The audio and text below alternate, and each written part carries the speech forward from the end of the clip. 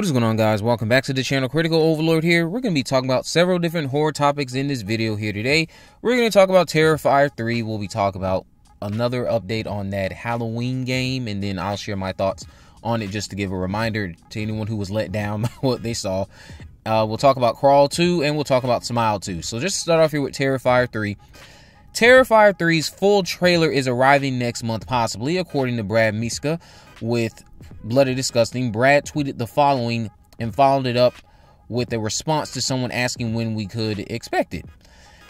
He said, This movie is so massive and jam packed that the trailer barely scratches the surface of what's coming to theaters this October, and it's still bonkers. And then prior to that, it was a tweet that said, Working on the full Terrifier 3 trailer, and it's a monster. And like I mentioned, they followed it up to someone who was asking when we could expect it. They said possibly next month. So we could get the Terrifier 3 full trailer in September. Now, the film is dropping on October 11th, and as exciting as Brad makes the film sound, I'm good with the two teasers that we have. That's just me.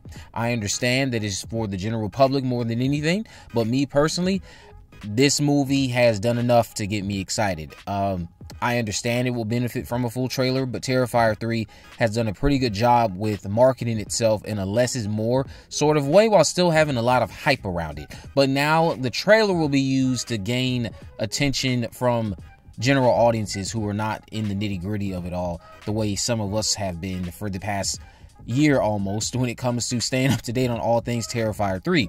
I suspect the trailer will show Jonathan's college life and maybe we'll meet the alleged blaster man Sienna's dad liked to draw since he's rumored to have been into comic books. We'll possibly see Sienna's cousin since she was absent in the last teaser from what I could tell. What do you want from this trailer? Do you find the trailer to be unnecessary? Let me know all that down below. Now we're going to jump into Halloween. So Halloween and Ash versus Evil Dead's trailer dropped online yesterday after the official Halloween movie pages teased more to come following Monday's video game announcement. As a reminder, if you were disappointed by what you saw in that trailer, the IGN article from Monday did mention two games, not one, but two are on the way. And the one most of us are probably going to engage with the most is in early development. It reads The two new games are being developed in association with Compass International Pictures and Furtherfront with Unreal Engine 5 project still in early development. I suspect this game will be the one that's more story based, possibly solo player driven, and more immersive overall. Now, as someone who despises the multiplayer wasteland on Friday the 13th, I'd rather this Michael Myers game just be a solo project. I'm good on multiplayer, don't need it. I don't need multiplayer. That's not to say that it'll be a wasteland like what ended up happening with Friday the 13th, the game. I just would rather see a solo project right now. And if you want to incorporate multiplayer in the future, sure. I'd rather right now, though, just see a solo player driven Halloween game based on the 1978 original with us reliving those iconic moments that the article teased and let's just go from there. I don't really see a need for multiplayer. I mean, I have I have Dead by Daylight for that because Michael's Michael's in Dead by Daylight, isn't he? But whatever. Now we're gonna talk about Crawl 2. So Crawl 2 is a go. The Hollywood Reporter dropped this news a few days ago. Says Paramount Pictures is crawling back for more. The studio is deep in development on a sequel to Crawl, its gator gnashing horror movie released in 2019, and is eyeing a fall shoot in Europe. Andrew Andrew Deutschman and Jason Pagan, known for penning horror flick Paranormal Activity, The Ghost Dimension, and time travel romp Project Almanac, are writing the script. It goes on to say the same French born director who directed the original is returning. They will also be producing. Sam Raimi is involved, who produced the original as well. Now, I will say I enjoyed Crawl, and it came out during a storm in my state, which made my first viewing even better. Is it stupid in ways? Yes. However, creature films like this can be so much worse that it's difficult for me to just write this off as complete trash. I, I will say that the Ghost Dimension writer doesn't make me very confident, but I will give them a pass since Paranormal Activity was already a mess. Hopefully, what they are cooking up with Crawl 2 won't be a mess. Because again, while the first film isn't perfect, it was one of the better creature films to be released in theaters in that year, and just one of the better creature films to be released that year in general. Also if i'm comparing it to then uh what was that movie? 47 meters down uncaged come out that same year.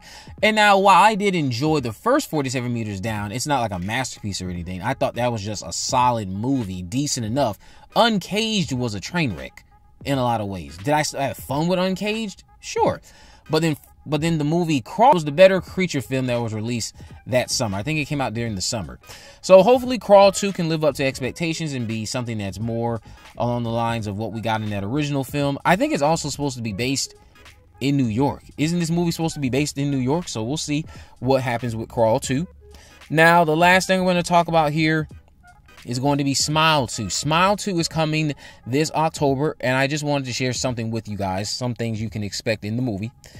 Now, as you've seen on Twitter, or if you haven't, yes, the film 100% features a star, a cameo appearance from someone who appeared in the original Scream. I will want to highlight that. They appeared in the original Scream. So it has a Scream alumni in it. It is not Kyle Gallner. Kyle Gallner is already in the movie.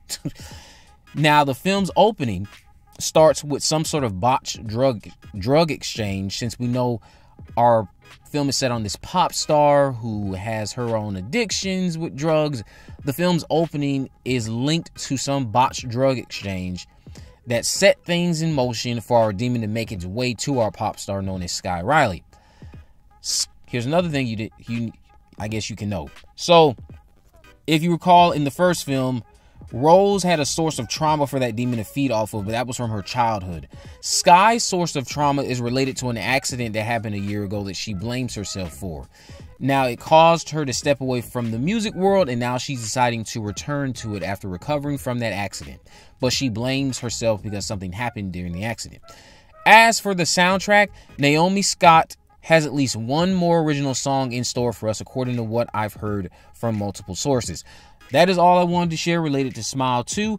As for a second trailer, I don't know when one would drop. I would expect Paramount is going to pick up the marketing in September. We'll start seeing all these strange occurrences like we did last time, probably. Let me know what you guys think about this down in the comment section below. If you haven't already, of course, make sure you go ahead and subscribe. Turn on post notifications so you never miss a video. In the description, I'll have links all my social media accounts. I'm on Facebook, Twitter, and Instagram. You can message me there to let me know there's any movies, news, or reviews you'd like me to cover in the future. And with all that in mind, guys, I will see you in the next video.